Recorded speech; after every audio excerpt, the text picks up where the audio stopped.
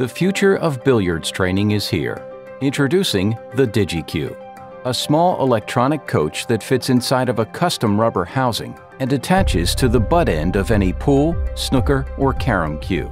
Simply slide the DigiCue onto the butt end of your cue, push the power button, and then play the game of your choice.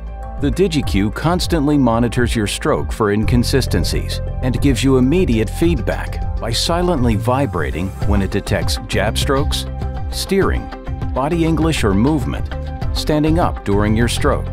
The DigiCue will force you to bear down on every shot.